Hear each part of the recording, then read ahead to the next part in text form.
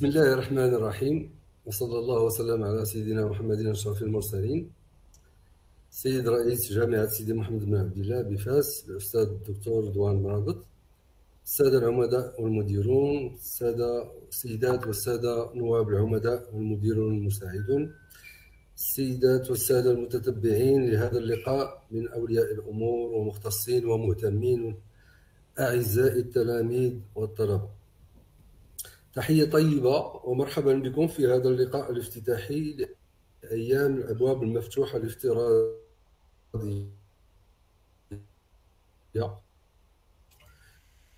لجامعة سيدي محمد بن عبد الله المنظمة من 18 إلى 22 يوليوز 2022 ونتذكر جميعا باعتزاز إطلاق النسخة الأولى سنة 2020 في خضم الأزمة الصحية التي عرفها العالم ككل أزمة فيروس كورونا والتي تجندنا جميعا من أجل مواجهتها مواجهتها ولإيجاد السبل لاستمرارنا في أدائنا في أداء مهامنا التربوية ومن بينها الإعلام والتوجيه توجيه التلميذ الجديد الحامل للبكالوريا والذي يطرق أبواب الجامعة. وبالفعل نجحنا في تحدي تنظيم هذه الأبواب المفتوحة افتراضيا وعرفت مشاركة الآلاف من تلاميذ وطلبة داخل وخارج المعرض وها نحن اليوم نفتتح النسخة الثالثة من هذه التظاهرة الهامة والتي ستسمح للتلاميذ بالتعرف على جامعتنا والاطلاع على عرضها البيداغوجي الغني والمتنوع. وبهذه المناسبة أتوجه بأحر التهاني إلى التلاميذ الحاصلين على بكالوريا هذه السنة وأتمنى لهم حظا سعيدا وموفقا في مسارهم الدراسي. كما أتمنى التوفيق للتلاميذ المقبلين على اجتياز الدورة الاستدراكية وأقول لهم بأن كل جو... لكل جواد كبوة. ككل سنة يسعدنا ويشرفنا أن يترأس هذا الحفل الافتتاحي الافتراضي السيد رئيس جامعة سيدي محمد بن عبد الله بفاس الأستاذ رضوان مرابط والذي أوجه له الشكر الجزيل على الاهتمام والعناية الخاصتين التي يوليهما لهذه التظاهرة بتشجيع وتحفيز كل المتدخلين في تنظيمها دائما تحت شعار الطالب أولا. وأدعوه أن يشرفنا بافتتاح هذه الدورة وإلقاء كلمته بهذه المناسبة. فليتفضل مشكورا. شكرا جزيلا. بسم الله الرحمن الرحيم. والصلاة والسلام على أشرف المرسلين. السيد نائب رئيس جامعة سيدي محمد بن عبد الله بفاس المكلف بالشؤون البيداغوجية والطلابية. سادة رؤساء المؤسسات الجامعية ونوابهم. سيدات والسادة أباء وأمهات التلاميذ. أعزائي التلاميذ أعزائي الطلبة أيها الحضور الكريم. أولا أود أن أرحب بكم في هذه المناظرة المرئية الافتتاحية للأيام المفتوحة الافتراضية لجامعة سيدي محمد بن عبد الله بفاس في نسختها الثالثة برسم سنة 2022 أود أن أرحب بالخصوص بالتلاميذ الحاصلين على شهادة البكالوريا في هذه السنة. وأقول لهم هنيئا بفوزكم ونجاحكم وأقول هنيئا كذلك لأولياء أمركم لآبائكم وأمهاتكم الذين سهروا على تربيتكم ومساعدتكم وكانوا مساهمين في نجاحكم. أعزائي التلاميذ والطلبة بعد المشوار الطويل الذي قطعتموه للحصول على شهادة البكالوريا. هناك مشوار آخر ينتظركم في التعليم العالي بالجامعة أو بالمؤسسات الجامعية. عالم آخر ينتظركم غير العالم الذي سبق. في المدارس الابتدائية والثانويات. عالم يبدو في الوهلة الأولى متشعب بكلياته ومدارسه العليا بالمسالك التكوينية المتعددة بشروط المباريات للولوج إليه بتعدد المنصات الرقمية للتسجيل إلى آخره من الأشياء الجديدة التي حتما ستضطرون على التعرف عليها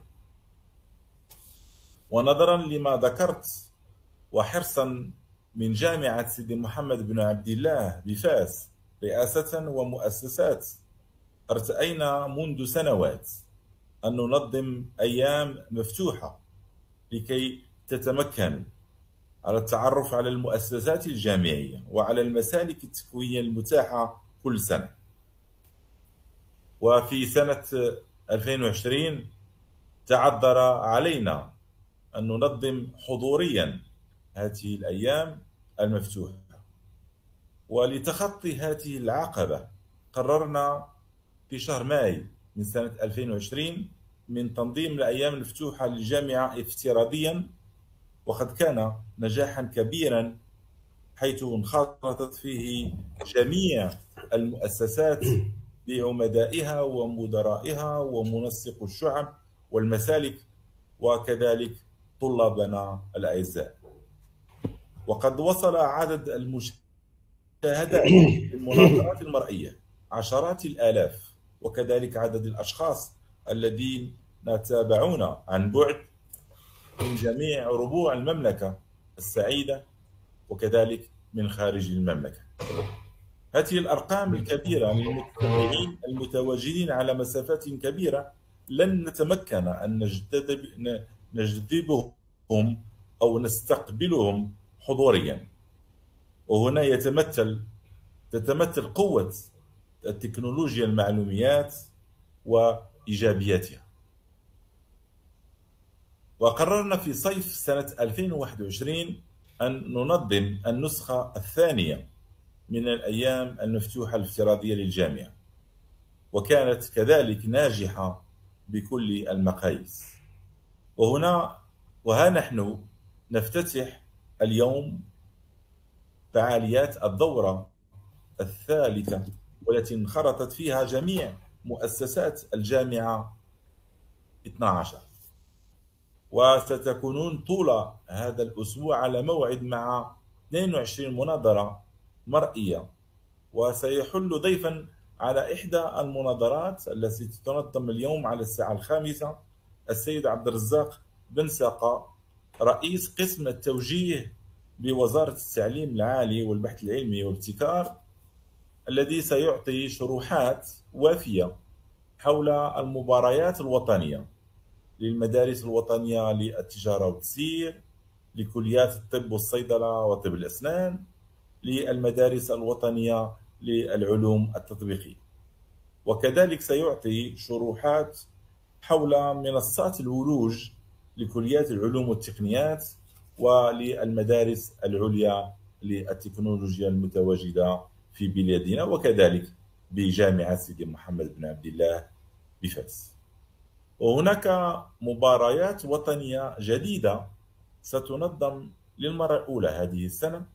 وهي مباريات الولوج للإجازة للإجازة في التربية والتي عددها 14 مسلك والتي ستنظمها هذه السنة في شهر شتنبر المقبل المدارس العليا للأساتذة ومنها بالطبع المدرسة العليا للأساتذة بمدينة فاس.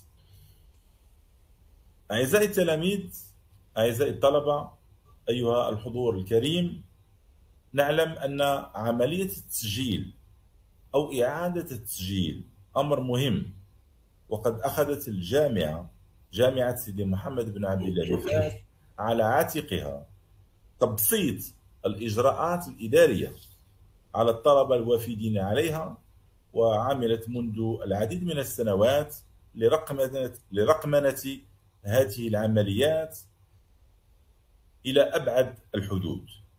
ووضعت تحت متناولهم منصة admission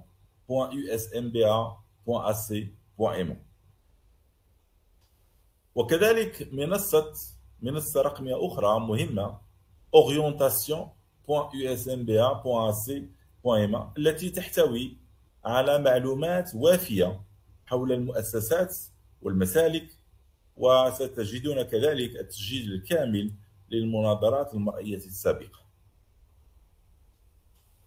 أود في الأخير أن أشكر جزيل الشكر جميع الصاهرين على إنجاح الدورة الثالثة من الأيام المفتوحة الافتراضية للجامعة وعلى رأسهم الأستاذ الفاضل عبد الغني الأشقر نائب رئيس الجامعة المكلف بشؤون البيداغوجية والطلابية والأساتذة الأفاضل رؤساء المؤسسات ونوابهم ومنسق المسالك والشعب. وكذا وكذلك الأساتذة والأطر التقنية والإدارية التي تشتغل بتفاني لتطوير المنصات الرقمية المتعددة للجامعة ولتحيين المعلومات المتواجدة فيها. لهم كلهم أقول شكرا جزيلا. بهذه الكلمات كلمات الشكر أنهي كلمتي الافتتاحية وأقول لكم كونوا مع المواعيد مواعيد المناظرات الافتراضية لجامعة سيدي محمد بن عبد الله بفاس في هذا الأسبوع. والسلام عليكم ورحمة الله تعالى وبركاته. شكرا سيدي الرئيس على هذه الكلمة الافتتاحية البليغة والمحفزة. و أتمنى أن نكون عند حسن ظنكم وعند حسن ظن تلاميذ وطلبة جامعة سيدي محمد بن عبد الله. أيام الأبواب المفتوحة الافتراضية لجامعتنا تنظم دائما تحت شعار الجامعة الطالب أول وهي في الحقيقة تتكون من شقين. الشق الأول كما ذكر السيد الرئيس هو وضع رهن إشارة التلميذ وأوليائهم وأساتذتهم بوابة إلكترونية للإعلام والتوجيه لجامعة سيدي محمد بن الله بفاس وعنوانها هو orientation.usmba.ac.ma وتمكن يمكن الاطلاع عليها بكل سهولة على ويمكن الاطلاع عليها بكل سهولة على موقع الجامعة الإلكتروني اللي هو www.usmba.ac.ma هذه البوابة بلاتفورم توفر للمتصفح جميع المعلومات حول الجامعة مؤسساتها تكويناتها أنشطتها بنيتها التحتية وخدماتها. هذه البوابة ستسمح للتلميذ بالتعرف على الإمكانيات الهائلة التي توفرها جامعتنا والتي تتكون من 13 مؤسسة. ست مؤسسات ذات استقطاب مفتوح وسبع مؤسسات ذات استقطاب محدود. الجامعة توفر تكوينات في جميع الحقول المعرفية وجميع الاختصاصات. الطب والصيدلة وطب أسنان الهندسة العلوم القانونية العلوم الاقتصادية التجارة والتسيير العلوم الإنسانية والأدب واللغات الشريعة العلوم الدقيقة من رياضيات ومعلوميات وبيولوجيا جيولوجيا إلى آخره. مسالك التربية وحديثا هناك أيضا مسالك في علوم الرياضة هذه السنة تابع دراسة في الجامعة حوالي 98 ألف طالب وطالبة مؤطرين بحوالي 3000 من الأطر البيداغوجية والإدارية والتقنية في خدمتهم. وأود هنا أن أشكر جميع الأطر التي ساهرت على تهيئ هذه البوابة وتحيين كل المعطيات حول المسالك المقترحة برسم السنة الجامعية 2022 2023 الشق الثاني من هذه الأيام هو تنظيم كل المؤسسات خلال هذا الأسبوع من 18 إلى 22 آه، يوليوز 2022 لقاءات افتراضية دي ويبينار وعددها 22 لقاء خلال هذا الأسبوع.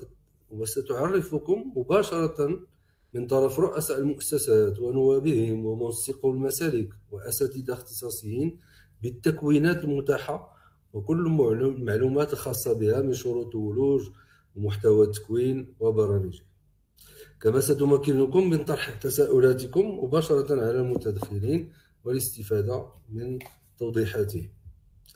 كما خصصنا هذا اليوم كما ذكر السيد الرئيس نقطة لقاء هام على الساعة الخامسة بعد الزوال. لقاء خاص لمؤسسات ذات الاستقطاب المحدود وشروط وطريقة الترشح وكل المعطيات التي تخص مباريات وانتقاء المؤسسات ذات الاستقطاب المحدود يعني FST ENSA أو ENCG أو EST ميدسين إي إن إس également في ختام هذا اللقاء الافتتاحي أود أن أوجه شكري وتقديري لكل من ساهم في تنظيم هذه الأبواب المفتوحة الافتراضية. والتي استوجبت مجهودا جبارا قام به أساتذة ومنسقو ومسؤولو وتقنيو مؤسسات الجامعة وكذا على مستوى رئاسة الجامعة. عمل دام لأسابيع لتحيين بوابة التوجيه وتنظيم هذه اللقاءات الافتراضية.